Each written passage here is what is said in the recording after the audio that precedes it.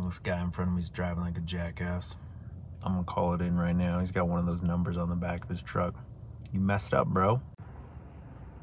Well, I wasn't ready for that.